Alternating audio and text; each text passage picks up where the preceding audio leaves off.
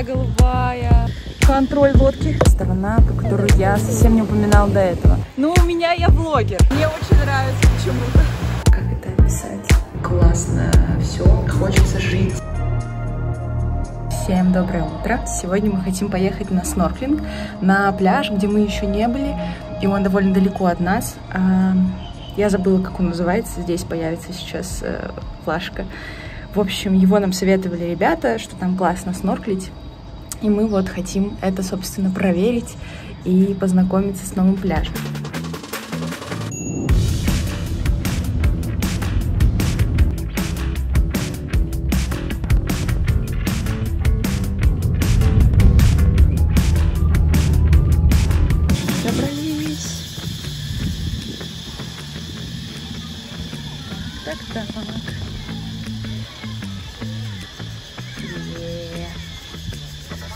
Что много скал, а значит, значит снорклинг. Довольно людно.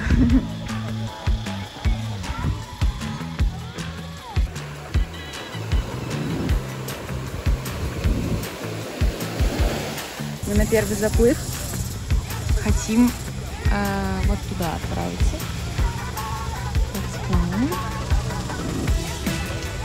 Так, ну что ж, по моим вмятинам на лбу понятно, что мы только сделали заплыв. Короче, ставим... Сколько ставим, Зай? У меня десятибальная система оценки. 8. 8, где Египет, это 10, да? Да. Ну да, согласна. Короче, восьмерку. Очень интересно, потому что много всяких рыбок, много кораллов прикольных. Прям видно, что они живут, там как-то сокращаются. Вот, ежи. Поэтому прикольно и хорошие локации. И под скалами прям вообще много живности. Решили сходить на разведку, а еще хотим по- поехать на, каяки, на каяке. Здесь тоже есть такая опция, мне кажется, должно быть интересно.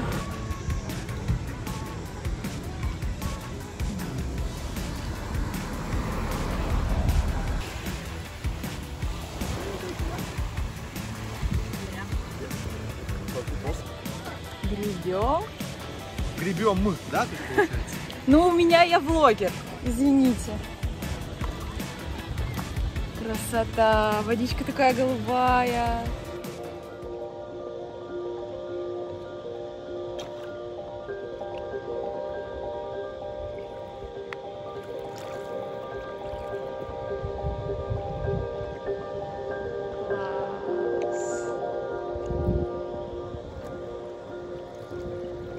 Мы еще по очереди снорклим.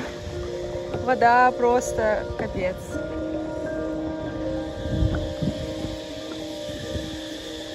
И здесь очень красивые кораллы. А, Там у берега таких нет. Так, грибаем. Я тут на страже все-таки контроль лодки. Ой, красота. Все, мы высадились на берегу. Что ж, э, наверное, это вообще один из лучших снорклингов, который был, потому что в этой точке очень красивое дно, вот эта вся живность. Описывать это смысла нет, потому что это надо видеть и смотреть, и вот на все это погружаться, чувствовать на себе.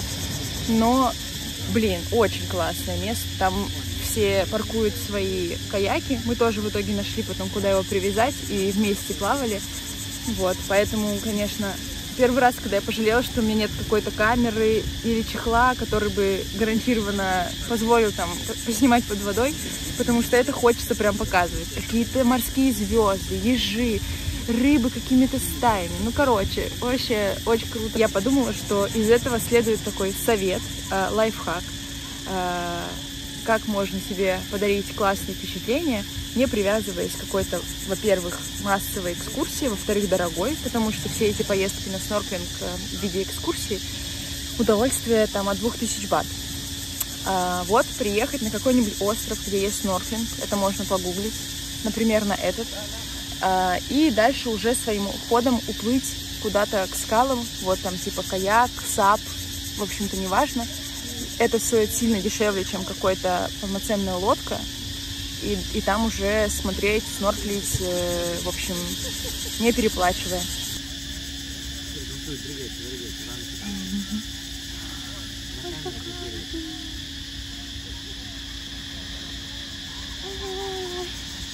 Как близко.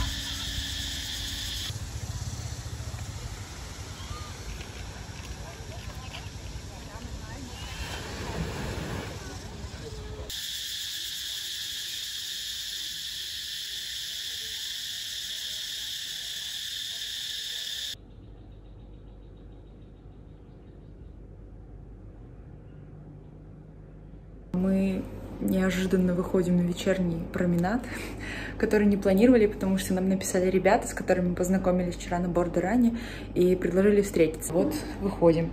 Думаю, что снимать не буду, потому что все-таки мы только познакомимся, мало ли это ребят напряжет. В общем, а, думаю, на сегодня вообще закончу, вернусь к вам завтра. Привет всем! Сегодня я иду осуществлять подарок, который мне тоже сделали мои друзья подарили мне сертификат в спа. Офигительный, судя по всему, просто суперский. У меня трехчасовая программа. Я очень его жду и тоже хочу поснимать. Прачка, которую мы нашли и которой продолжаем пользоваться, это вот эти машины, которые стоят на улице. И стоит стирка 30 бат. Мне важно, сколько килограмм. Все заняты, блин. Не хорошо. Ладно, оставим здесь вещи и пойдем на рынок пока что. А вообще, все вот так оплачиваешь, стираешь, забираешь. Все очень удобно. Это мои пожитки.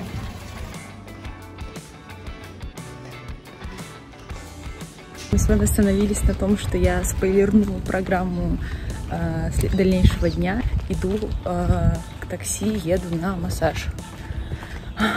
Предвкушаю, что сказать. Надеюсь, будет классно.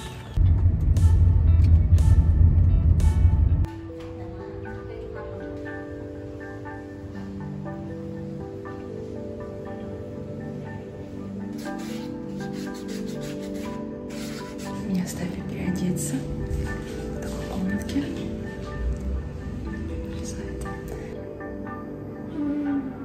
Так выглядит человек, которого два часа просто отправляли в рай. В общем, меня тут вот только что мяли и скрабировали.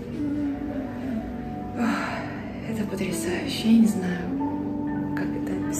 Так, друзья, теперь меня привели сюда и сказали, что я могу здесь находиться час, купаться, видимо, и so on. В общем, я немножечко затестила. В общем, здесь очень горячая, приятная вода. И она белая, потому что, когда я пришла только в спа, меня спросили, в какой воде я хочу потом быть. Я выбрала сама. У нее какой-то есть эффект, если честно, я не запомнила. Но, в общем, that's my choice. А, здесь такая со льдом и с водичкой а, бычонок. В общем, здесь, видимо, все для душа. Здесь такая зона, чтобы привести себя потом в порядок. А, в общем, я в шоке. Это супер. Ой, я отразилась немножко. В общем, да, кайф. Пошла обратно откисать в свой бассейн.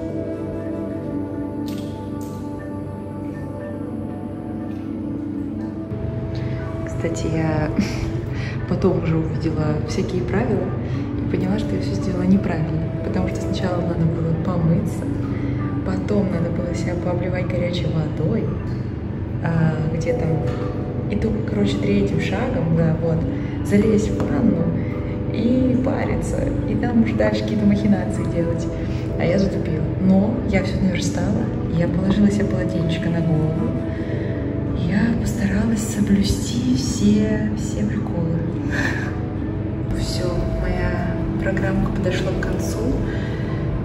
10 из 10, кажется, я это уже говорила, но, блин, вообще очень, очень приятно, очень релакс, очень классно все. Хочется жить теперь так, чтобы позволять себе такие походы как можно чаще.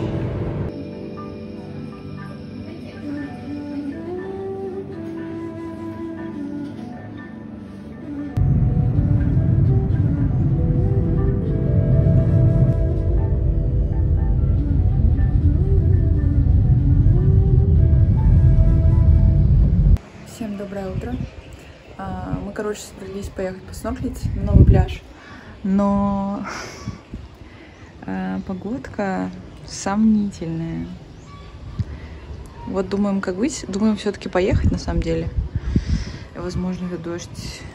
Или это вообще не дождь, это тучи спустились. Ну, короче, что нас минует, либо он быстро пройдет, как это здесь бывает. Поэтому, наверное, все-таки поедем.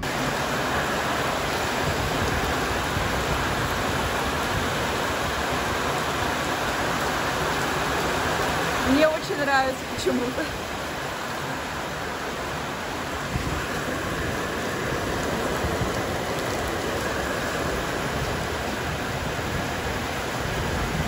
Немножко сумбурный получается влог, и я так врываюсь э, моментом. Мы пришли на пляж на Камалу, и, короче, случилась история, которую я решила, что хочу поделиться во влоге, как такая другая, что ли, обратная какая-то сторона, про которую я совсем не упоминала до этого. Короче, мы сейчас с Тёпой шли на пляж и проходим на, мимо парковки и видим, как двое мужиков, кажется, мы поняли уже сразу, что они русские, очень пьяные и садятся на байк. Ну, то есть, и мы вот их видим, что они уже все выезжают с парковки, и они еле шевелят языками. Я напрягаюсь, говорю, блин, куда же они садятся на байк в таком состоянии? Мы еще со Степой так отходим максимально в сторонку, ну, какой-то первый инстинкт самосохранения, подальше дойти от такого. Вот, они выезжают, проходят 100 метров, они скрываются за поворотом, и мы слышим э, звук аварии, что они врезаются.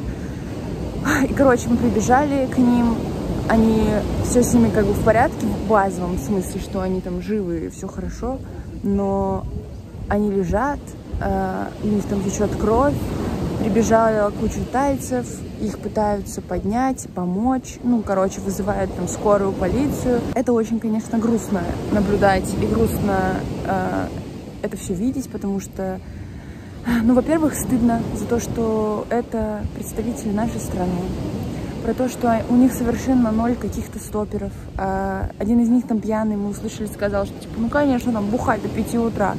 То есть это чуваки бухали всю ночь. А потом сели на байке в жару, уже было 11 часов, это уже жара 30 градусов. Решили, что они в состоянии на них поехать. Ну то есть это ноль какой-то вообще адекватности, ответственности чего-либо вообще вразумительного. И когда им начали помогать, там, не знаю, дети прибежали, какие-то зонтики над ними держат, они просто матерились, типа, как вы все достали. И у них очень пьяные, наглые рожи, неприятные.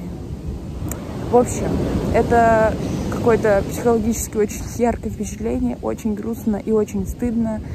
Э, не хочется, чтобы так было, конечно же. Не знаю, мне кажется, что не стоит здесь какие-то моральные выводы делать, все все понимают, но, в общем, ужасно, что так. Призываю беречь себя, быть к себе внимательными, быть ответственными за себя и за свою жизнь, за жизнь других окружающих людей.